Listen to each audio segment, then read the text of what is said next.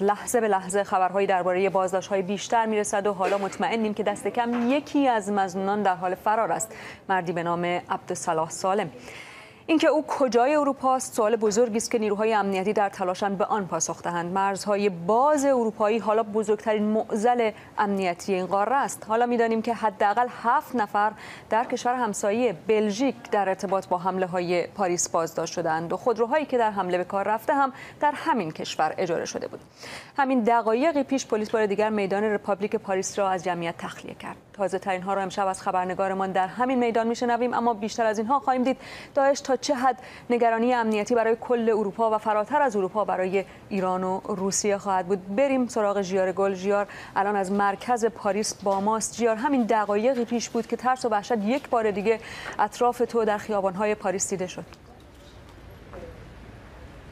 فرناز دقیقا ما همین پشت سر من یکی از رستوران هایی است. یکی از سه رستوران و باری است که شب جمعه هدف قرار داده بود. صدها نفر اینجا اومده بودن با روشن کردن شم و آوردن دسته های گل ادای احترام کنن به, به قربانیان اون حادثه. اما ناگهان شایعه شد که یک کسی که می‌خواد عملیات انتحاری انجام بده با اتومبیلی داره به طرف اینجا میره. ما دیدیم صدها نفر فرار کردند سر و صدا گریه و پلیس هم با بیرون کشیدن اسلحه هاشون مردم رو داشتن هدایت می‌کردن. به داخل خونه ها به داخل رستوران ها و بارها و اون مغازهایی که باز بودن و فریاد می‌زدن به فرانسوی که از اینجا دور بشی از اینجا دور بشی. چیزی که جالب بود برای من خیلی از کسانی که لباس شخصی بودن متوجه شدن ناگهان اسلحه کمرشون رو در آوردن و سنگر گرفتن که احتمالا که داره حملات دیگه شروع میشه. مثلا کسی از این طرف ما که همون لحظه ما اینجا بودیم با اتومبیل می اومد یه خانمی داد می‌زد دارن از بالا میاد و این نشون میده که چقدر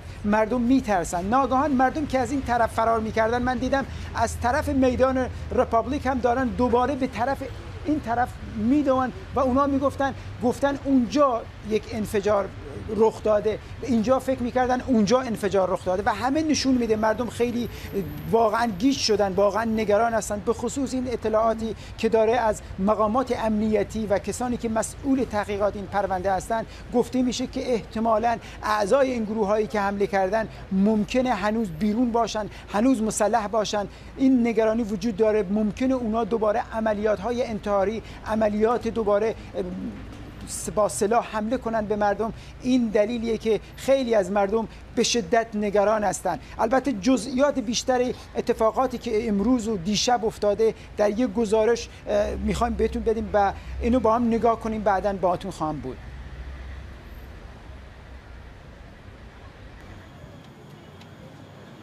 امروز با طلوع آفتاب صدها شهروند پاریس برای احترام به قربانیان جمعه شب به یکی از میدانهای شهر میدان رپابلیک آمدند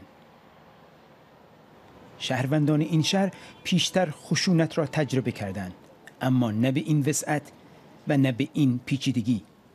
بسیاری می‌پرسند چگونه چنین حملاتی توانسته از دید مأموران امنیتی مخفی بماند. حال تحقیقات وسیعی فراتر از مرزهای فرانسه و اروپا در جریان است. Que très vraisemblablement ce sont trois équipes de terroristes. تقریبا مطمئن هستیم سه تیم به صورت هماهنگ پشت این حمله ها بودند باید بفهمیم این مهاجمان چه کسانی هستند چه کسی به آنها کمک کرده فرماندهشون چه کسی بوده و از کجا اومدن و از کجا حمایت مالی شدن.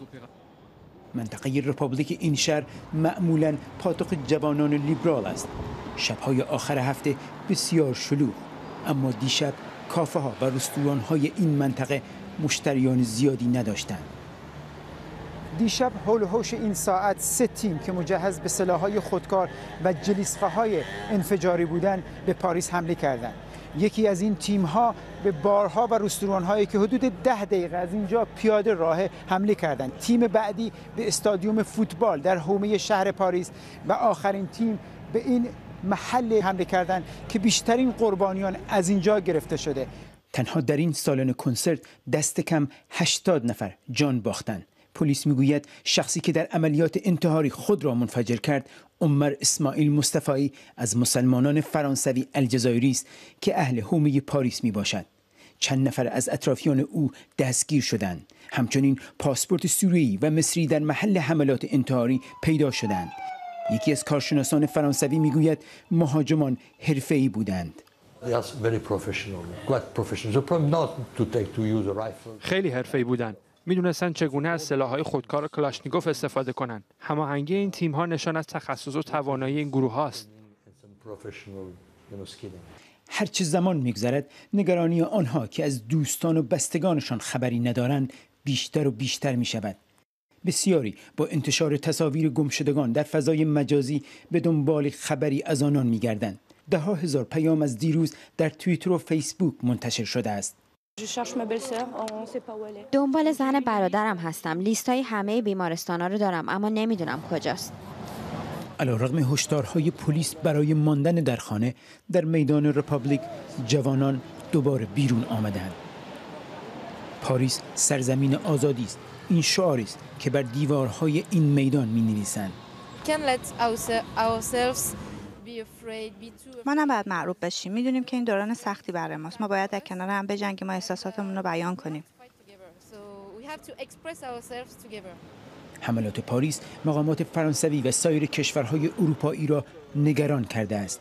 نیروهای امنیتی به اطراف بسیاری از اماکن مهم فرانسه اعزام شدند بسیاری شهروندان نگران حملات غیر منتظره هستند. نگرانند شاید گروه های دیگر منتظر فرصت دیگر برای حمله باشند. ژیار فردا دوشنبه است. روز شروع هفته در اروپا. آیا مدارس باز خواهند شد؟ زندگی عادی به پاریس برخواهد گشت؟ حقیقتا فرناز امروز میشه گفت پاریس آروم آروم داشت جون می‌گرفت. چرا که ما روز قبل که اینجا بودیم خیلی خلوت بود به خصوص این منطقه که مرکز شهر هستش و خیلی شلوغه خیلی رستوران ها و بارهای متفاوتی داره. مردم معمولا میان بیرون به خصوص در آخر هفته.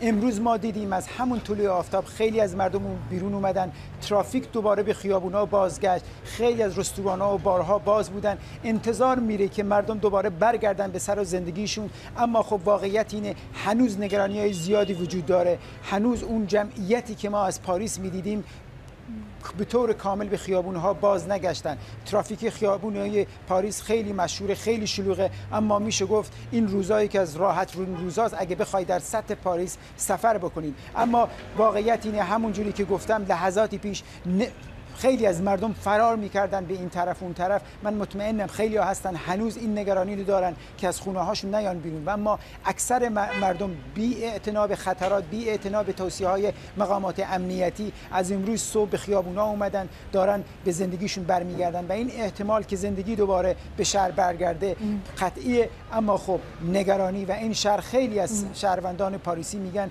هیچ وقت مثل گذشته نخواهد بود چرا که اون انفجارها خیلی تاثیر گذاشته